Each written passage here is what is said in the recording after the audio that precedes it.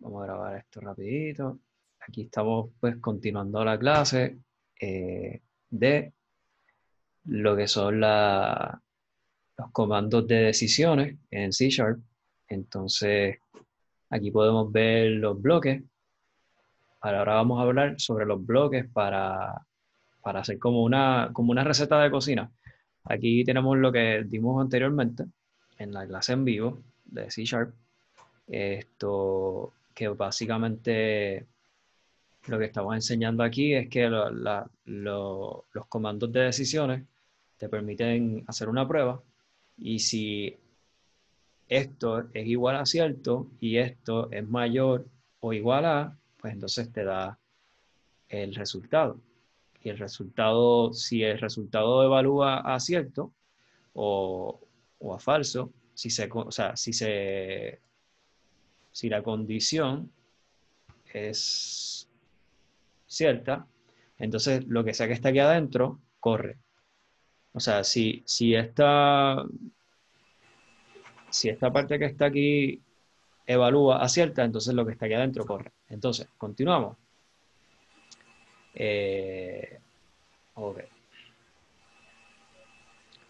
Tenemos aquí lo que son los bloques de statements o de comandos cuando usamos el, el comando de if, if es igual a sí, si está listo para comer es igual a cierto, esto también pudiera, pudiéramos poner aquí también falso, eh, false, ¿verdad?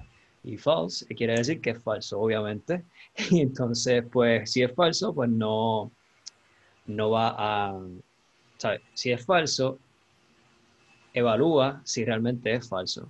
Y el símbolo de i dinero es mayor o igual o dinero es igual a 100, entonces si, este, si esto que está aquí se cumple o esto que está acá se cumple y es cierto, pues entonces esto corre. Eh, estoy haciendo el repasito para ¿verdad? las personas que no pudieron estar en la clase pasada, pero también pues hay muchos videos en YouTube que pueden explicar esto, un concepto bastante eh, básico.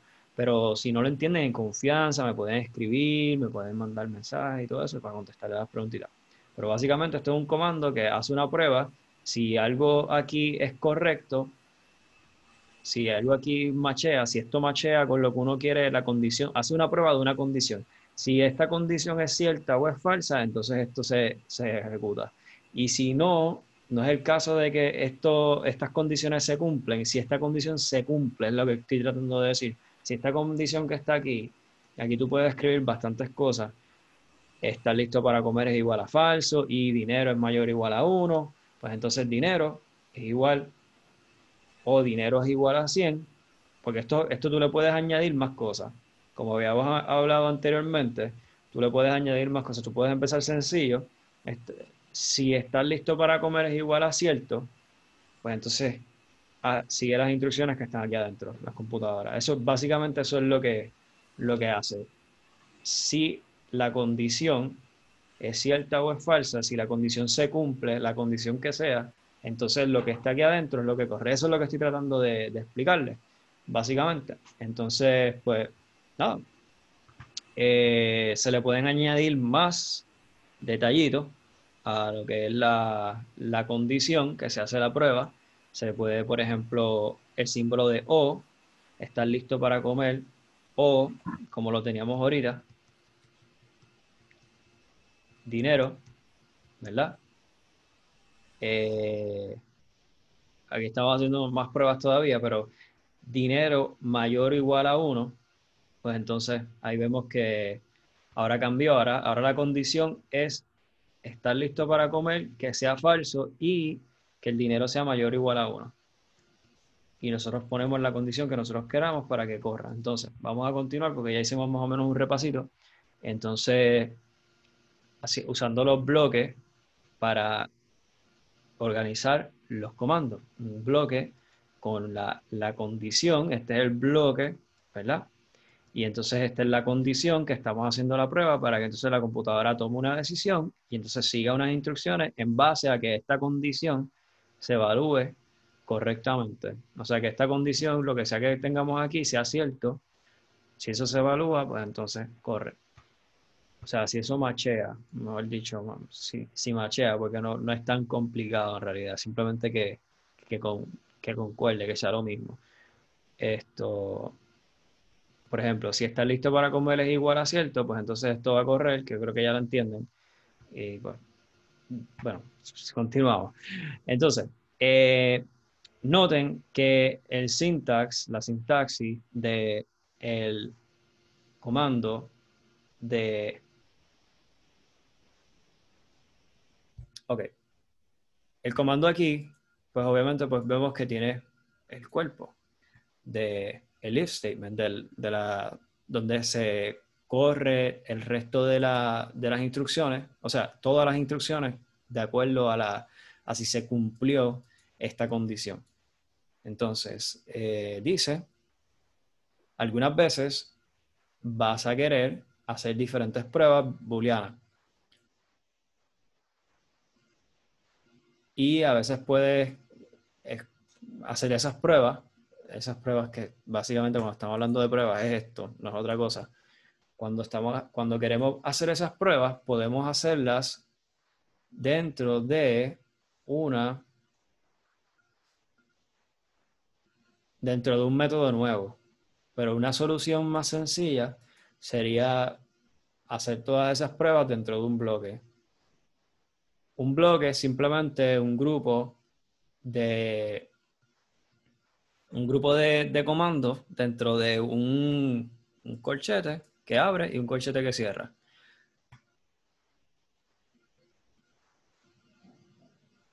Entonces ahora vamos a ver un ejemplo de esto, de cómo podemos hacer más pruebas de condiciones eh, dentro una de la otra.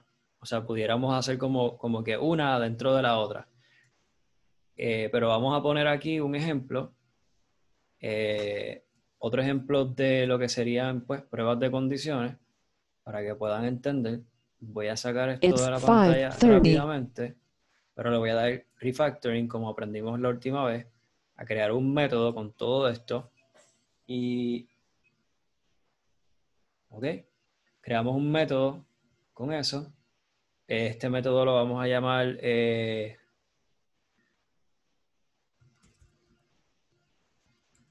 comando de decisiones.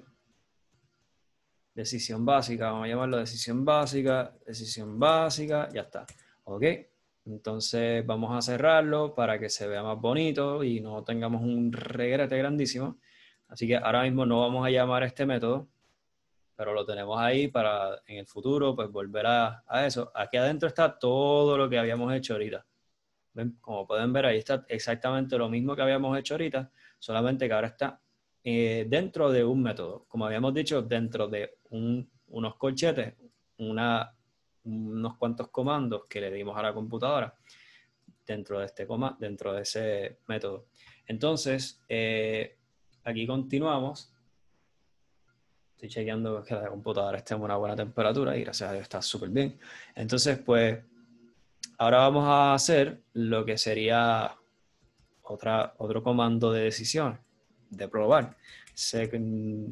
segundo, ok, segundos y segundos igual a cero. Vamos a hacer como un reloj. Minutos es igual a cero. Y entonces vamos a hacer aquí Ok. Aquí vamos. Esto es una clásica que le enseñan a uno en la escuela. Si segundos es igual a 59, entonces segundos va a ser igual a 0, va a ser igual a 0, y minutos minutos va a ser igual a... No, minutos vamos a incrementarlo de la forma que habíamos aprendido en los capítulos antes, el primer capítulo. Eh, y aquí también lo habíamos mencionado en la clase anterior, que se puede incrementar por uno cuando le escriben más, más. Eso es todo. Entonces, segundos, tiene que estar bien escrito porque si no la computadora, el compilador nos va a gritar. Eso es bien sencillo. Entonces, aquí vamos eh, tenemos la primera parte del reloj y entonces aquí vamos a hacer la segunda parte del reloj, que es bien sencillo. Eh, aquí está else segundos. Segundos es igual a más, más.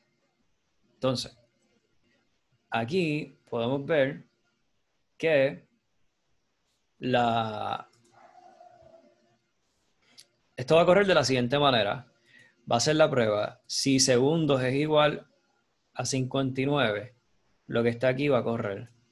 Si segundos, o sea, si esto no corre, porque esto no se cumple, no se cumple esta condición, pues entonces vamos a la segunda, el otro else. Else si o en caso de que no, no se dé esta decisión, pues hace else.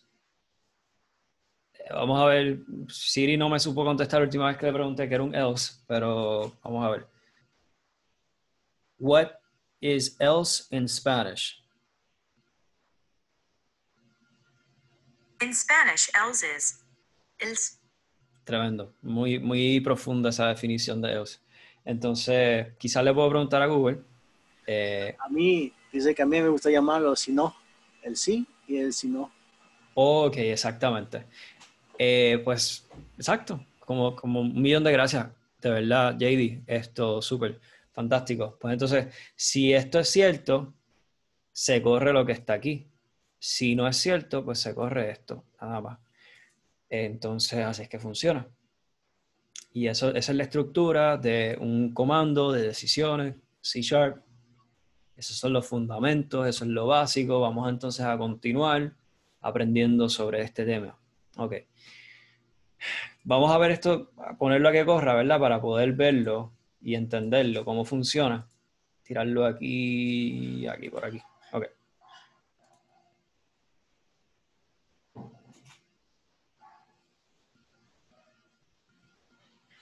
Ok. Esto. Ya aquí ya empezó. Aquí está la flechita. Aquí es que está el programa. Cuando, acuérdense, cuando le damos clic aquí en esta línea, ponemos una, como una ficha roja y esa ficha roja quiere decir que el programa va a correr hasta ahí. Y ahí, cuando llegue el programa hasta ahí, va a comenzar el modo de, de corregir errores en el programa. Y de ahí entonces vamos a entrar en el modo en que el programa va línea por línea, línea por línea. Y si quieren hacer esto un poquito más rápido, pues ya saben que aquí, con esto te sales del método donde estás y con esto puedes brincar un método. Y con esto vas línea por línea viendo cuáles son los valores en cada línea. A ver dónde está el error, a ver qué es lo que está pasando línea por línea. Simplemente le pones el mouse encima y sabes cuáles son los valores de cada variable. Y eso es súper poderoso. Esto, y de verdad que hace falta aprenderlo. Eh, a veces no lo enseñan en la universidad, a veces no lo aprendes en YouTube y es bien importante. Entonces, eh, aquí está segundos. Eh, segundos ahora mismo está en cero. Es igual a 59. Se, o sea, se supone que segundos sea igual a 59 para que entre el programa en esta área pero si segundos no es igual a 59, pues el programa no va a entrar en esta área.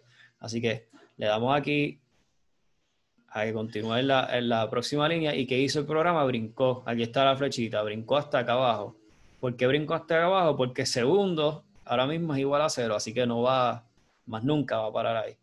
Entonces, bajo aquí, segundos más más, va a correr, lo que va a correr aquí, va a empezar por aquí, por el corchete, como siempre, los programas empiezan siempre por el corchete, entonces va a cargar los comandos que tengamos dentro de los corchetes en la memoria, segundos, cero, pero ahora mismo segundo es cero, ¿por qué? Porque lo inicializamos en cero, pero ahora va a ser más, más, así que cuando corra, cuando lleguemos aquí al final, segundos va a ser igual a uno, entonces va a finalizar el programa porque no hay, una, no hay un comando de repetir para que esto se repita y sea un, reloj de verdad. Pero más adelante vamos a aprender cómo hacer eso, un comando de repetir, con el cual podemos repetir todas las instrucciones que queramos y de muchas maneras distintas. Entonces, pues, eh, básicamente, pues aquí se acaba el programa porque estamos empezando, estamos aprendiendo. Pero si quitamos esto, pues el programa lo único que va a hacer es preguntarte si estás listo para comer. Qué decepción, ¿verdad? Pero si le escribes aquí abajo, esto es una abreviatura de consola, de escribir en la consola, pues la consola te puede enseñar que sí cambió el valor de, de segundos. Segundos es igual a... Y aquí ponemos, si queremos poner, hacer como una, una concatenación. Concatenación es que ponemos un, los valores de una variable dentro de una serie de caracteres, así. Le ponemos el símbolo de dinero. Acuérdense, el dinero siempre hay que, hay que ponerle dinero para que funcione. Así que le pones dinero para que funcione. Y aquí le pones segundos y ya está. Y entonces ahora le das correr. Y segundos es igual a 1. Si esto tuviera un loop, pues funcionara. Pero si les, si les pongo a hablar de loops ahora, se van a confundir y no van a entender de lo que estamos hablando porque tenemos que seguir entendiendo lo que son las decisiones antes de meternos en un loop, porque los loops, o sea, los comandos de repetir son peligrosos porque puedes eh, repetir infinitamente y se puede, eh, le puede hacer daño a la computadora dependiendo del programa que estés corriendo. Entonces, pues tienes que hacerlo, entender bien lo que estás haciendo, no lo puedes hacer a lo loco. Obviamente, pues Microsoft y el sistema operativo de Microsoft tiene una tecnología para detener y prevenir que eso pase pero eso es en la mejor de las circunstancias. Puede ser que sea una circunstancia que no lo corra y no, y no pare. Y en ese caso, pues, tienes que tener precaución, ¿verdad? Al hacerlo, tienes que hacerlo correctamente. Entonces, pero por lo, menos, por lo menos aquí en Visual Studio, pues no hay, no hay tanto peligro, pero debes tener conciencia, ¿verdad? Pero eso es otro tema. Eh, go to decoration. Ok. Eh, vamos a ver, vamos a crear aquí una refactorización. Extract method. Eh, sí, vamos a extraer un método aquí rapidito. De todo esto, quiero extraer un método, exacto, de todo esto quiero extraer un método. Mm, un método, ahí está. Entonces, ya, extraímos el método con todo lo que hicimos y ven, como lo hicimos nuevamente, seleccionamos lo que queríamos crear un método de, le dimos extraer un método y lo extrajo. Pero todavía no podemos darle de nuevo porque tenemos que primero llamarlo por un nombre y este lo vamos a llamar eh, reloj.